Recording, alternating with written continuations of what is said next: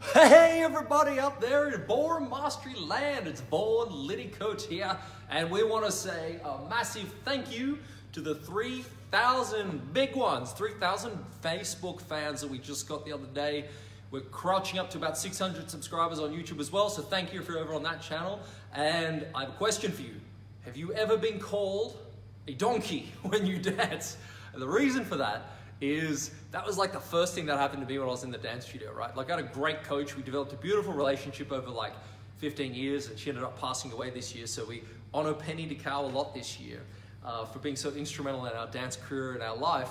But uh, my first experience dancing was basically this. I go into the studio, I'm like pacing out the front door, I'm walking back and forth and thinking, oh God, I'm nervous or I'm feeling sweaty palms. Have you ever had that feeling where you're nervous to go inside a dance studio because it's so scary? You feel that you like be judged, right?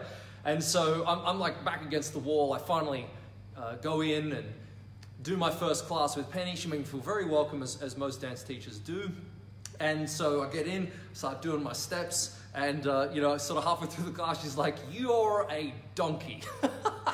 Look at how you're stepping." And the truth was, I absolutely was. My feet, like man, I didn't know my heel from my toe. My my whole motivation to dance, like the super secret, was basically it was this. It was no higher ethic or you know transformational message. I basically wanted to dance with pretty girls, right? Like dudes, if you feel me out there, give me a little like. That's all I wanted to do. I was a, a boy at school. I was like 17, 18, and uh, I was at an all boys school. And I figured, you know what? What better place to go and meet chicks than at the dance studio? And rather than tackling sweaty boys on the football field, that's what I'd go and do. So I rocked into the dance studio, and what would I find, right? It was me and this other dude, and one other guy, and about 30 chicks. I was like, this is perfect. And you know what's crazy? I got my wife out of that first class. Isn't that wild? Now, I didn't go in there thinking that, and I didn't think, oh, I'm going to marry anyone here. But that's what ended up transcending, right? We started our first class, took our first steps together, and going down this beautiful pathway of competing and building together, falling in love, falling out of love, falling in love, that sort of you know pathway, moving overseas, and then starting a studio and now a family together. But it's crazy what can happen, right? This first time you might be called a donkey, or someone might look at you dancing and go, ah, and they will, you know, you might get belittled or ridiculed you got to be tough, right? You got to be tough to just get through that initial phase. But if you're feeling that, like if you've ever had that type of, you know, someone said anything, just let me know because it's sort of funny to look back on because I didn't take it personally. I knew I was like totally bad. But my point of my message is this: if myself and my wife can do it, and the people we teach in the studio who come in as raw beginners can work their way up through medals and to be competitors in dance, you can absolutely do it. I want you to hear the message loud and clear. You can do it right? But there's something that's missing, right, for most people. And that is, it's, it's not necessarily that they can do it. I think that's the first thing to understand. It's that you maybe don't know how to unleash the best version of yourself dancing. And I truly believe the foundation for that is not in the technique of your dancing, it's actually in the mindset or your attitude of your dancing when you first begin. Now, if you're feeling this, give me a little like or shout out below, or let me know what you think of this. I think if you get that part right first, your mindset, your attitude, and then the second part can take place, and that is the technical lesson, the, the, the, aspect of how you, what I like to call upskilling, right? So if you're upskilling in your dancing, it means that you have the attitude of that, and this is definitely what I found with the best dancers in the world, and very good dancers and better dancers, they all have one attitude in common, and that is that they never know enough right? Like that they can always learn more. They've never hit a pinnacle. They're not perfect. But the, you know what the very worst dancers do? And I know you know people like this in your studio.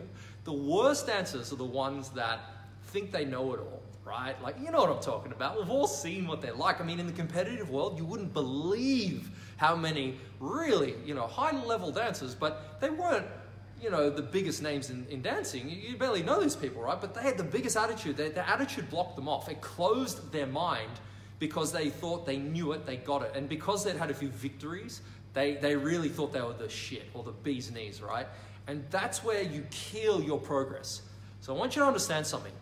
You can definitely be a better dancer, right? I think this is really important for you to hear there is absolutely no ceiling for you in that respect. Even if you maybe a bit older when you started dancing.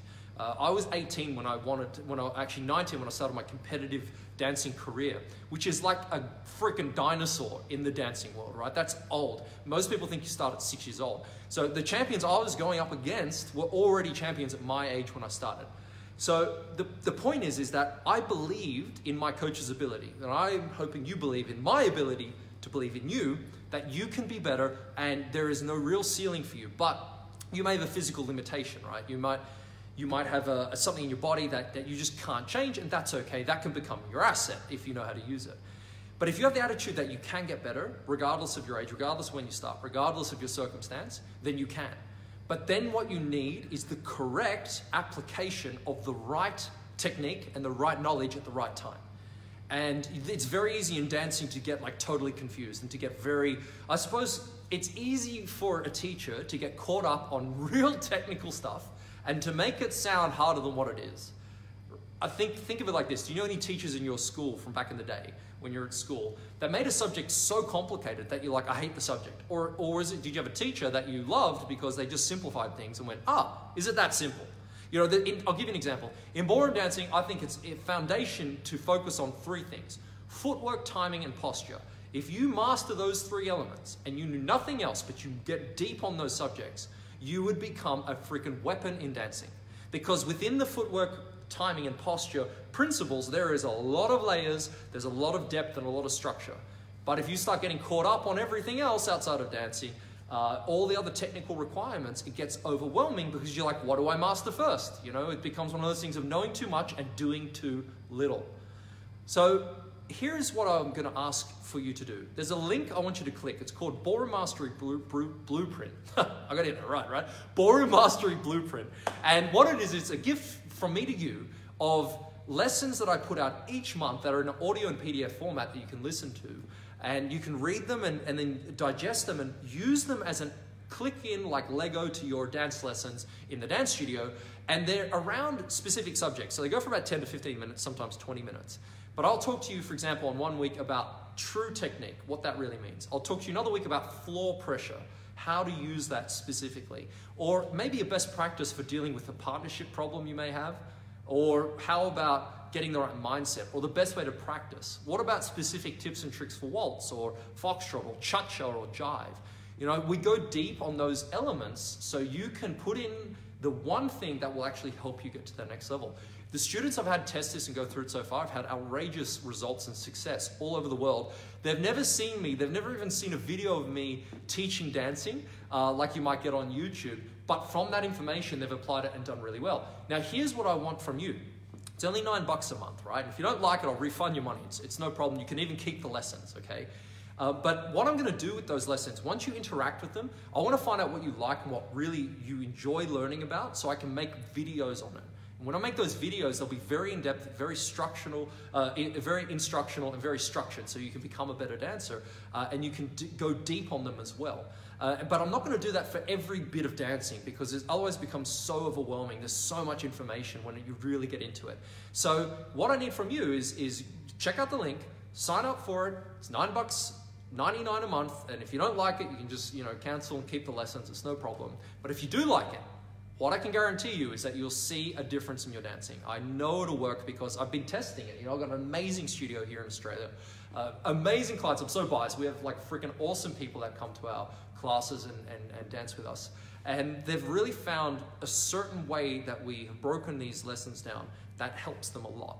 And I know they'll work for you as well. Even if you're not physically dancing with me right now, this information could transcend the geographical boundaries and really help you to rock it out and take you to that next level, whatever that may be for you. Okay? So check out the link.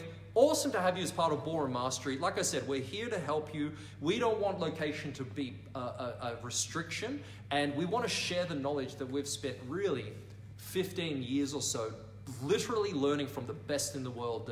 Uh, Anthony Hurley, um, uh, Penny DeCal, who learnt from Alex Moore, who wrote the technique book. The dancing that you do, the technique that is done all over the world, comes from Alex Moore and guys like Anthony Hurley, who sat on, like I call the Knights of the Round Table. They basically cooperatively put this technique together, and Alex Moore wrote it out. He's a real genius. But our coach learned from him for 10 years, and we spent 15 years dancing, uh, right up until when she passed away this year, learning and digesting from her. We were doing five, six lessons a week, every week, for 10 years, right? So we've got a lot of knowledge from her. And none of this is ours. We break down concepts that we've learned. So, like, we can totally brag all over it because we didn't create ballroom dancing, right? But what we do specialize in is really um, helping break a complex subject down and hopefully making it simple for you to understand. So, here's the takeaway for today. If you've danced like a donkey, we've got the cure. Click the link. If you want to focus on three things, it is footwork, timing, and posture. Master them, go deep, and you'll become an amazing dancer. I want to thank you for your time. I love having you on the page. Write a comment below. Let me know what you'd like to learn. And I look forward to seeing you in Ballroom Mastery Blueprint. Check out the link, and I'll see you in there soon.